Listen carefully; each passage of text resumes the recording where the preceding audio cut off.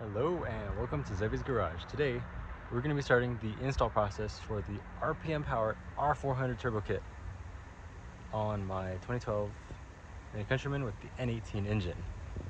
That being said, this engine is fully stock. That turbo kit is absolutely capable of destroying my stock internals, or not mine, but my car's. So it's going to be turned down quite a bit, but it should still be plenty spicy. So we're going to install it as is run it for a couple months like this while I build my fully built engine. And then we're gonna put our built engine in here and turn it up. So the first thing we are going to do is start by removing the factory turbocharger here. Okay, to get the factory downpipe out from the top, my goal is not to lift this car till the end of this project. It's probably not gonna happen, but if you rotate the downpipe 90 degrees counterclockwise. I don't think I can do this while holding the camera, but you can pull it out. Okay, just as described, pretty much you rotate counterclockwise, lift. When it gets stuck, you turn clockwise again, lift, vice versa. So and so. So we're gonna our stock turbo off now, and then we'll see you in a minute. For reference, oil feed line is 18 mil. The coolant upper and lower uh, feed and return lines are 19 mil. And the bottom oil line is an 8 mil. Okay, so we undid all this. The only thing we have to do is unbolt the physical turbo. We already have our wastegate line disconnected, as you can see. So then now, you can either remove here, so one, two, there's two more on the bottom, so four bolts total what I'm doing is I'm just going to remove the whole uh, manifold. These are all 11s and these are also 11s here. So we're going to just remove all these since we're removing the manifold anyways.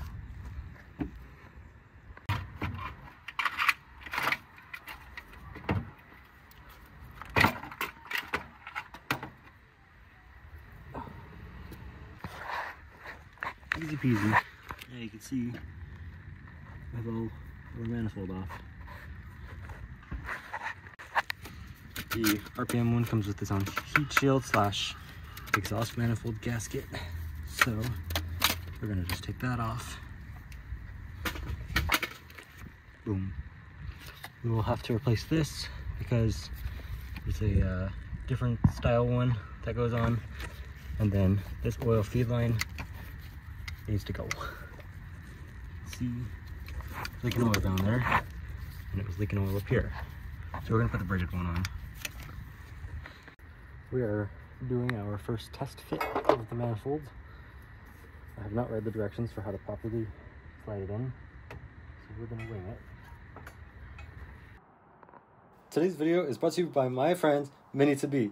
He's a Mini Cooper second gen specialist and he offers all kinds of services for these cars. He offers weight, what is that? You need a key? He offers key cloning services. You have a dead footwell module, no control of your headlights, no window controls. He can clone or repair your footwell module. You have a dead ECU? He can fix that. Wait, what? You want another ECU? He can do that too. Along with all the module services that he offers, he is located in Pennsylvania, so shoot him a message and get your Mini to be running right today. For reference, this will not fit with the stock oil filter housing. I was curious of it, but it won't fit. So I'm gonna go install the actual RPM powered uh, oil filter housing, the billet one that they make, and the relocation kit, and then we'll get to this step. In the meantime, I gotta get this back out. Okay, so on to today's part of the adventure is to remove the factory oil filter housing. So we're gonna do, there should be four of these uh, eight millimeter bolts. We're gonna remove those, we'll pull it off. Okay, so we have our oil filter housing off. As you can see here in the coolant passage, someone has a little stop leak or something like that. Not really supposed to use them in the minis.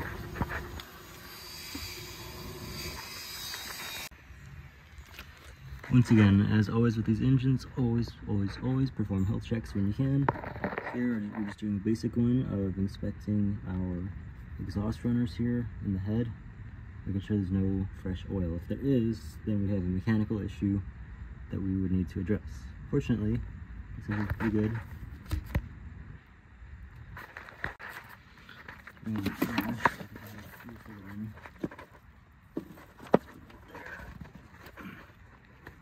there. Decent there. There.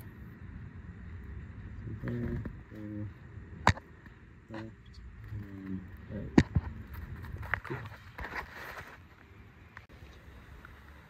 Okay, so we have our RPM powered oil filter relocation kit, which this part of it is the billet oil filter housing that replaces the big blocky factory one with this pretty small compact style one.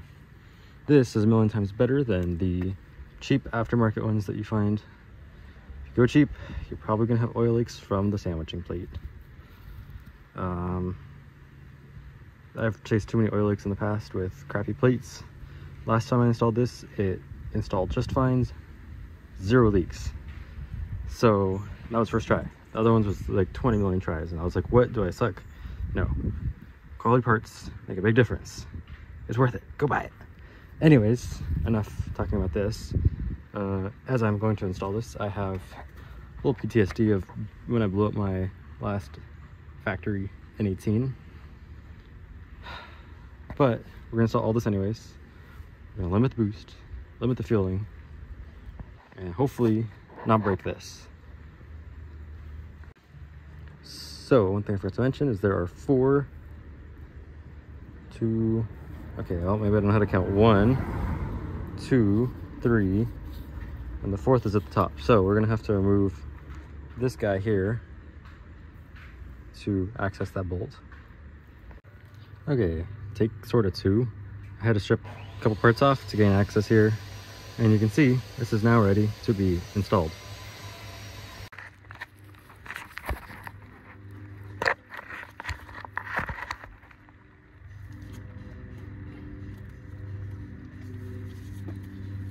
Okay, here's the oil filter housing.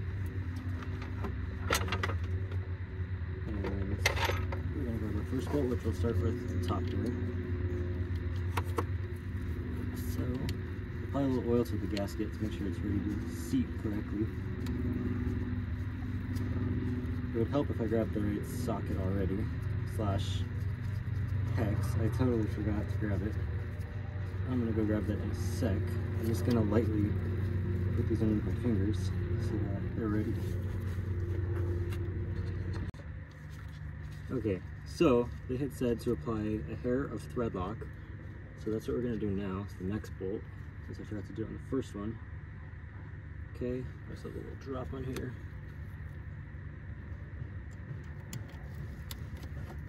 Also, the socket for these is a H5 hex. And the torque is either 10 or 12 newton meters. I will have to check.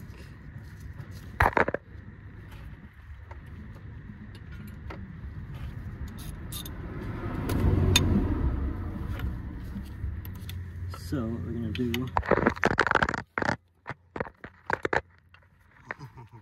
I almost dropped my phone into the soup down there. That would have been bad. Okay, let's not put our phone there anymore. I'm gonna go torque these to 12 or 10 newton meters. Let me go check. Okay, so we have our new housing on. We have, where is it? Our new oil uh, feed line going up and around to here. And we'll have to figure out the drain side because it's different from the factory one. Here's the one for the factory turbo. The one for the R400 should be about half the size because the turbo has the metal version of this coming down to like about here somewhere. So we have that in. And let's see what happens from here. We'll probably test fit the manifold just to see where we're at. Ran into one issue. This line here hits the exhaust manifold. That being said, this entire plate was set up for the R300. So it's gonna have a couple of different things like little fittings and such. So I'm gonna check what RPM does for the R400, or I'll check my previous pictures from my last kit install. But I'm guessing I'm gonna have to 90 it, and then have it come up. Bada bing, bada boom. Here is a test fit of the manifolds with the N18 here. Looks pretty, pretty dope. I'm gonna test fit the turbo now to see where it's going to line up for the oil uh, return right there. Because as you can see, instead of it just being right here, it has this whole piece here. Okay, here is me test fit holding the turbo. You can see down in there that it's close, but not quite there. So, I do have one hose that is mocked up for this. Come on, focus, please.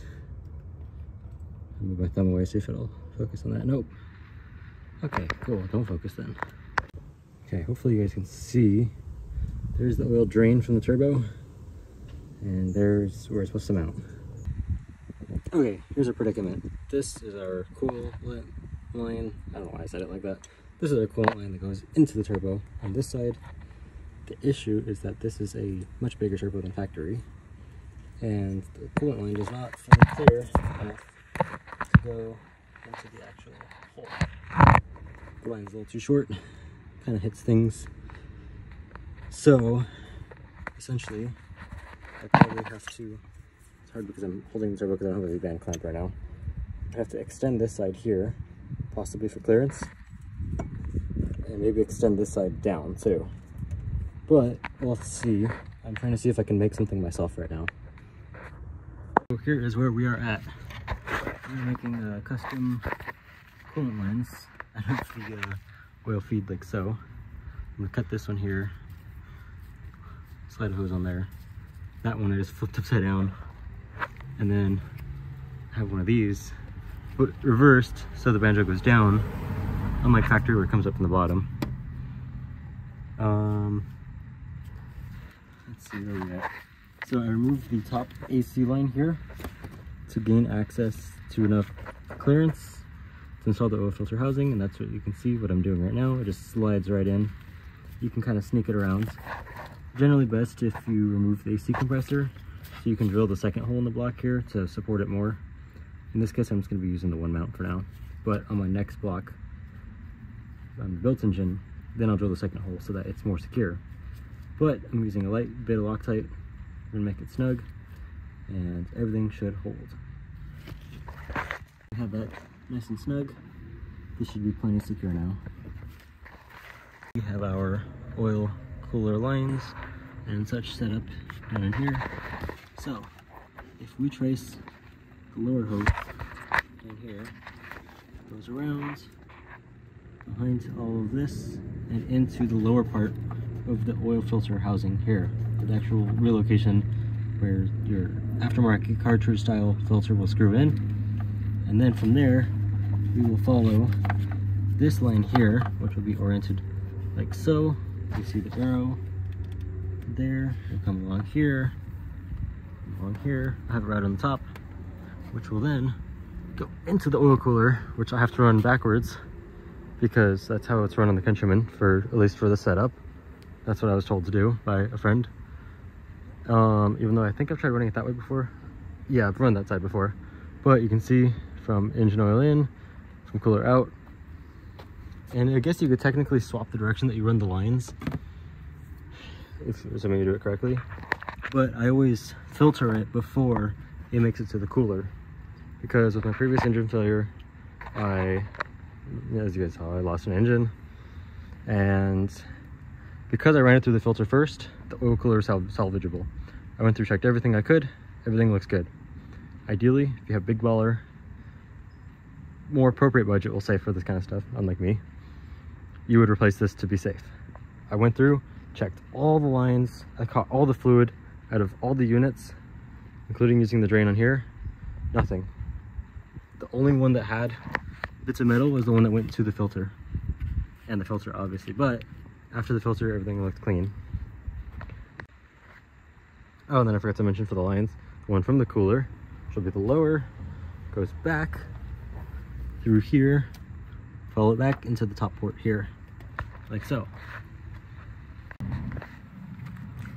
When tightening the bolts on the R400 manifold, I advise, one, not when you insert them, don't put them all the way so the manifold can have a gap so that you can slide these on without any clearance issues. These are the troublesome ones down here. That being said, this is an early uh, model of the manifold. The production, the latest production one that I remember installing, the clearances were easier to um, install all this. I don't remember having any weird issues or anything. But I remember this one when I took this manifold off a car. So, this one I pulled directly myself off a different car. So, yeah, just watch the ones that are low clearance here. Like I said, if I slide this manifold in, it's gonna get closer here, not gonna have enough room to get tools on there. One of my favorite parts about the R400 oil filter relocation kit is you get to use a cartridge style oil filter. Here we have the K&N HP 1017. This is what we need for this. So, as you can see, quite a lot of progress. I'll come back to that in a minute. But we're gonna go into the car and install this oil filter.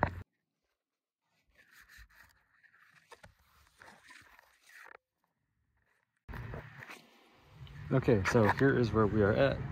We have our manifold fully installed, we have our turbo fully installed and clocked, we have our downpipe on, we have our cooling lines, which these are temporary ones that I've made out of factory lines and a couple modifications. The main thing I'm struggling with is charge pipe. I will deal with that later though. I'm just trying to finish the oiling and run it, and then I'll deal with the charge pipe later when it's not so damn sunny. I just want to make sure everything works correctly in case I need to go back into it.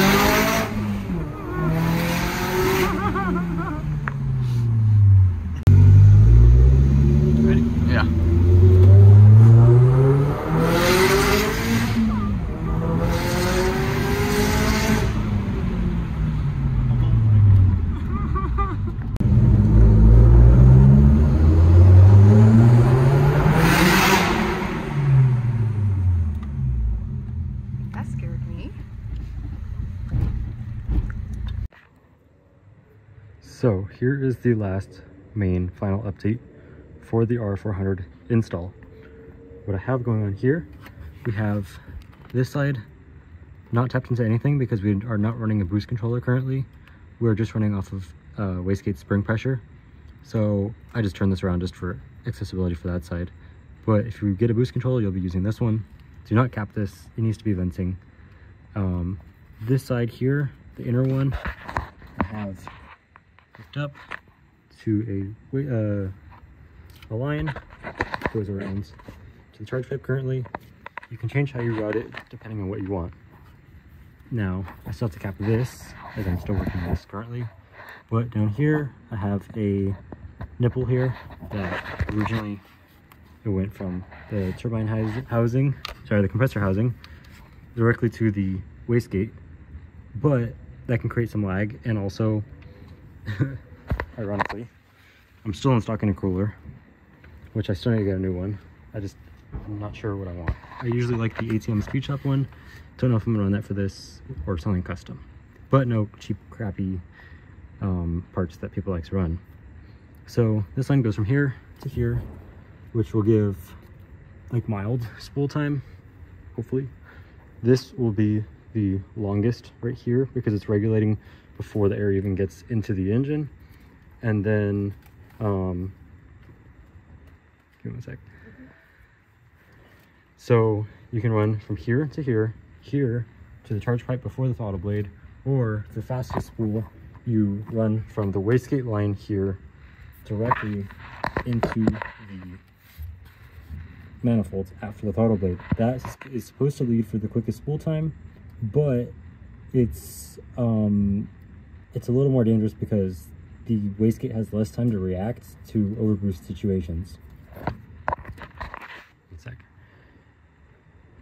And then for the blow-off valve here, we have our TiAL blow-off valve, which we have a vacuum line running that's teed into my boost gauge, which I have running into this plug down here, as I just showed, that you could potentially use for the wastegate, but I'm not going to be because I'm on stock internals and I'd rather not destroy everything. So we have mild spool time, but we will be using this for the blow-off valve because it needs to be after the throttle blade.